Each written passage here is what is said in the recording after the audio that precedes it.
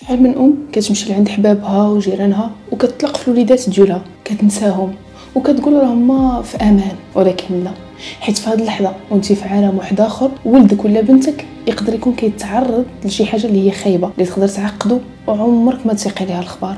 حلقتنا الليلة هي ربما قصيرة ولكن ما بغيتش ندوزها مرور الكرام حيت الموضوع ديالها والحكاية والتفاصيل ديالها فعلا عبره للوالدين باش أنهم يوليو يردوا البال.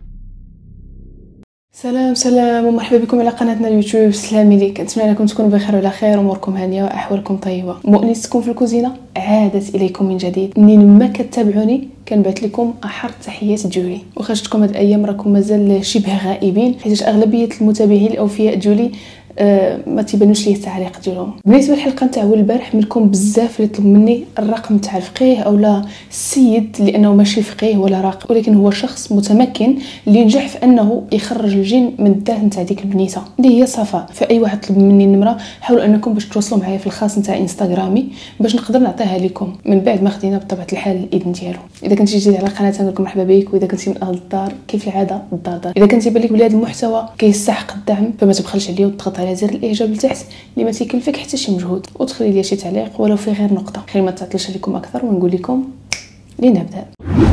أنا هبة وأنا بنيته بحالي بحال كاع البنات. عزيز عليا اللعب ونضحك. ما كبرتش وسط المشاكل. والديا كانوا قراب مني بزاف وظراف. ما عندي حتى شي مشكل تجاه عائلتي. كانوا عندي صحاباتي بزاف. كنا ساكنين في واحد الدار اللي كلشي غادي مزيان وهو هذاك وكانت معايا أختي اللي كبر مني. من موراها غادي نرحلوا وجينا لدار واحدة أخرى اللي كانوا ساكنين فيها من تحت منا الجيران. أنا ذاك باقي كنتذكر كانت عندي سبع سنين. هاد الجيران ماماهم كانت صاحبة ماما وكانوا عندهم ولاد بزاف. وكانت ديما ديك السيدة اللي هي امهم كتبغي تطلع تجلس معانا تغدى معانا ندوز معانا الوقت. وحتى ماما كانت نفس الحاجة ديما كانت كتهبط لعندها. كانت ديما ماما كتهبطني معاها حيت كان عزيز عليا أنني نجلس معاهم وبالأخص ما عندها وليداتها كان تيعجبني نلعب معاهم. واحد في ولادها واللي كان كبير كان ديما تيبغيني أنا نلعب معاه ونضحك معاه. ديما وقت ما هبطنا لعندهم لتحت كان يقول ماما خليها تجي تلعب معايا خليها تجي عندي البيت وغادي نعطيها ال PC ديالي وغادي نعطيها الكرة تلعب بها ونطلعوا للسطح أنا كنت تنفرح وكنت نطلب ماما أنها تخليني. راني غير حداك ماما عافاك كنت نمشي معاه غير حنا كندخلوا لبيتو كان تيسد داك الباب الساقطة وكيدير ال rideau تاع الشرجم وتيقول لي شوفي غادي ندير واحد الحاجة باش نلعبوا وكنت كنفرح وكنت نثق به. شي مرات مثلا كان تيعطيني ال PC أنني نلعب فيه. وتيبدا تيقول لي إذا بغيتي ندير لك هذه اللعبة اللي كان كيطمعني بها حطي يديك في هذه البلاصة. وإذا بغيتي هادي ديري هادي. يبدا كيتقرب مني ويدير شحال من حاجة في داك السن اللي كانت عندي فيه أنا داك سبع سنين. كان عند بالي بلي أنه راه شي حاجة عادية. باش غادي نعرف أنا بلي راه خايبة. كان تيقيسني في أماكن اللي ما عندش الحق شي دري أو لاي شخص أنه يحط فيهم يديه. كل نهار كنت كنهبط لعندهم. كل نهار كانت كطرى شي حاجة بحال هكا. ماما ما كنلومهاش حيتاش ما كانش عارفة شنو واقع وأنا ما كنقولش ليها. حيت كان كيسحب بي بلي أنه داكشي راه عادي وكنت كنتلها في اللعب. هذا الشيء غادي يدوم لسنوات. بعض المرات كان تيطلع للسطح ويقول لي يلا لعبوا كره وكنتبعو وكيبدا كيتجرد من الملابس ديالو كيتقرب مني. شلا حوايج اللي داروا اللي في المفروض انه ديك البنت في داك السن ما تعيشهمش حتى تزوج. كانت ديما نفس الحاجة كتعاود. كنت ندخل للدار بحال ما كاين والو وحتى هو ما كان تيخليه حتى شي دليل عليا. وما كانش تيعاملني بالعنف حيت عرف شنو كان تيدير. أنا صافي كبرت ودازت السنوات ونسيت داكشي كامل وشنو واقع. كنت عاقلة على حاجة وحدة. بلي أنا وداك خينا راني كنت نلعب معاه وما بقيتش عاقلة على شنو دار ليا. تنكون هابطة في الدروج كنتلاقى معاه كنبقى كنقول ليه سلام لاباس. هو ما كانش كيقدر حتى يشوف فيا ولا يرد عليا. كان كيتهرب مني وكيبدا كيحمار ويصفر وأنا ما كنتش عارفة علاش. حتى وصل الوقت فاش أنه كان خصو يمشي يكمل قرايته على برا ومشى. أنا عادي عايشة الحياة ما مفكرة حتى شي حاجة. حتى لواحد النهار كنا جالسين ما بين العائلة. كنتفرجوا في واحد المسلسل. سلامات أبو البنات اللي كلشي فيكم تعرفوا. وهي دوز فيه واحد اللقطة على أساس أنه واحد البنت عندها عقد خايبة في حياتها. بسبب واحد جارهم اللي في صغرها كان كيتحرش بها. وأنا كنت جالسة مع والديا وخوتي كنتفرج وكنفطروا. وأنا كنتفرج خاطري تزيرات عليا في ديك اللقطة. ما عرفت ما نقول. تنقول مع راسي هبه ما كيتزيرتي. انت مالك؟ بقيت تنشوف ولقيت بلي أنه داك الراجل تيقربها منه وكيعطيها اللعاب. وأنا هنا عاد فهمت اللقطة في المسلسل بلي أنا وهي تعقدات وداك الراجل غادي ينتحر حيتاش عرف وتعرف داكشي اللي كان تيدير. أنا كنتفرج وأنا كنتفكر بحال صرفقني. تزيرت وبديت كنقول عاد علاش طراجيم علاش طراجيم هكا تنعاودها غير بوحدي. جات فيا ماما وقالت لي مالك هبة؟ ما عرفت والو غير تزيرت بحيث يمكن بقات فيا. ديك الساعة بديت كنتفكر كل شيء داكشي اللي كان كيدير ليا وكيفاش كان تيجرني وشنو كان تيقول ليا. ما حوايج خايبين بزاف. اللي أي وحدة غادي تفكرهم غادي تكره حياتها. ويمكن تقدر كاع تنتحر. داكشي اللي تذكرت كان ديال الزنقة اللي ما خصوش يدار. أنا ديك الساعة بديت تنبكي كنبكي. ماما كتقول لي مالك؟ كنقول لها راه بقات فيا. علاش دار ليها بحال هكاك؟ أختي شافت فيا عاقت بيا. وشكات بلي أنه شي حاجة ماشي حتى لهي. بابا بديت تيقول لي راه كاين بحال هذا النوع اللي هو خايب. أنا نضت ديت عليا في البيت. وبديت نتفكر كل شيء من نهار هبطت لعندهم حتى دوك السنوات وكيفاش داكشي اللي كان كيتعاود كل نهار لمدة سنوات. جات دخلت عند أختي وقالت لي مالك؟ والو. قولي لي مالك. بديت كنبكي. واش قاسك شي حد واش تحرش بك شي حد؟ ياك لاباس. بديت كنعاود ليها. وبدات كتبكي. وقالت لي الشي هو راه هو اللي ما كيسواش. غادي يعذبو ربي في الدنيا. وانتي؟ راك ما درتي والو كنتي بريئه وعندك خا سبع سنين. في ديك الوقت غادي نطيح في اكتئاب وحزن اللي كان خايب. لا ماكلة. لا شراب لا خروج لا حتى شي حاجة. بديت كنفلم في راسي وكنقول أنا اللي خليته أنا السبب أنا اللي ما قلتهاش لدارنا. بحال بغى يدخلني الحماق ديك الوقت. تنقول بلي أنا هادشي اللي طرا بسبب ماما وهي اللي داتني لعندهم.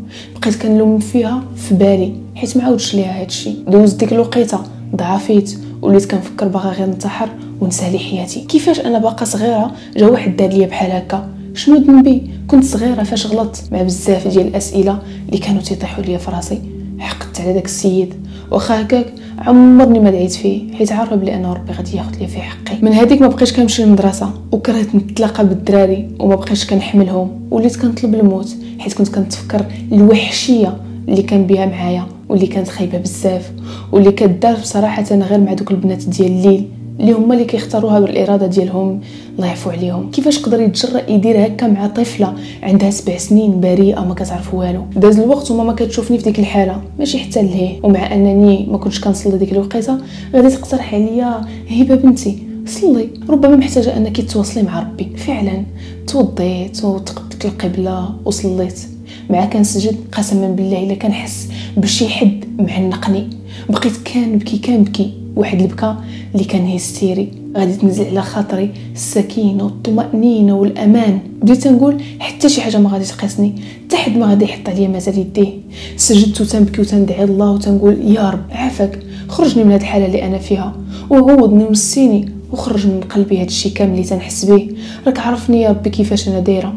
وشنو كانت نيتي؟ ديك الليلة غادي نعس في السجادة ديالي. والدموع نازلين من عيني. وكان سكات والشتا كطيح عمرني ما حسيت بالراحة في حياتي حتى لديك الليلة.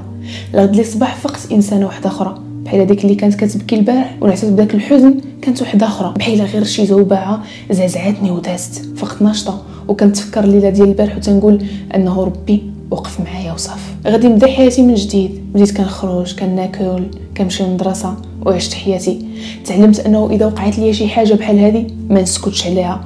حيت كانت تعاودت المره الثانية وما سكتش عليها. وأنا حسيت بواحد الفخر أنه كان دافع على راسي بلي أنه ما غنخلي حتى شي حد أنه يحط عليا يديه بسبب ديك الليلة اللي رجعت فيها الذكريات بحال تهزات إنسان وتحطات انسانه وحدة أخرى اللي هي واعية وعارفة بلي أنه حتى شي حاجة ما غتقدر تهرسها ولا غادي تغلبها بالعكس. داكشي دار فيا النفس. وهادشي هو اللي بغيت نوصل للناس. هو اللي بغيت نوصل لكل حزين لكل يائس لكل فاقد أمل. باللي أنه إذا طرات لك شي حاجة خايبة في حياتك غادي تاخذها من الجانب السلبي وغادي تأثر على حياتك. وحياتك هنا أنت اللي غادي توقف. أما العالم راه خدام وغادي يبقاو يقولوا هذاك مسكين سد عليه هذاك مسكين مأزم ما يقدروا يديروا لك والو. إذا أنت ما غيرتيش نفسك. أنا الحمد لله اليوم داكشي اللي كنت نحلم به في قرايتي وصلت ليه. بسبب هادشي اللي وقع ليا. تنشوف والديا وتنقول هو مساكن ما خلاو ما داروا على قبلنا. وحاطين جهدهم كامل معانا. واللي بغيناها كنلقاوها ما يمكنش نجي أنا نغرق في الحزن ديالي اللي ما غادي يزيد ليا حتى شي حاجة إيجابية في حياتي وغيمرضهم أكثر. تنقول ديما إذا تلاقيت هذاك الإنسان وجا وجهي في وجهه ماشي من عادتي أنني نرجع الشر بالشر للناس. حيت عارفة بلي أنه مولانا خير ومنتقم واحد النهار غادي يقول لنا مو بلي انه فلان راه تزوج بقى فيا الحال على ديك مرتو لانها دات واحد الإنسان اللي كان غادي يتعدى على بنت صغيرة وغادي يولد ولاد اللي اللي هو باهم. دير بحال هكاك. وأنا متأكدة بلي أنه هذا الشيء ما غاديش يخليه يرتاح في حياته. يا دابا يا من بعد. فوق ما تفكرني فوق ما لقاني فوق ما جا لدارهم غادي تفكر داكشي اللي دار ليا. أنا نقصت الحمد لله ديك المرحلة. غير هو عافاكم. ما تبقاوش آه، تسكتوا على بحال هاد الأمور. وما تخافوش لأنه فحال هاد النوع خاصو الحبس حيت إذا أنت سكتي وانتي سكتي هادشي غادي تولي فيه السيبة. وهذه هي كانت حكايتي. كنتمنى أنكم تكونوا استفدتوا منها. وهذه هي كانت حكاية هبة حكاية فعلا للعبرة. خصوصا وأننا في واحد الزمان اللي ماشي سهل وما بقاش فيه شي حاجة اللي سميتها بحال خوك بحال عمك بحال جارك بحال بحال. لا الزمن اللي وصلنا ليه اليوم ولا تيخلع. ضروري نحرصوا على حماية وليداتنا. من هذه الذئاب الوحشية اللي منتشرة في أي بلاصة ونقدروا ما نعرفوهاش. أيضا نحرصوا على التواصل الصحيح مع وليداتنا باش أنهم يقدروا يأمنون على الأسرار ديالهم. وإذا الله يحفظ وقعت شي حاجة بحال هكا ما يخافوش ويقدروا يعاودوها لينا. هذه كانت حكايتنا الليلة. كنتمنى تكون نالت إعجابكم واستفدتوا منها عبرة. خليو شي كلمة زوينة شكر للهبه لأنها شاركتنا الحكاية ديالها. نفيقوا فيها بعضنا. دمتم في رعاية الله وحفظه. ما تنسوش أنكم تشجعوني بالضغط على زر الإعجاب دمتم في رعاية الله وحفظه. نتلاقاو بعد غدا إن شاء الله في نفس التوقيت. سلام. سلام.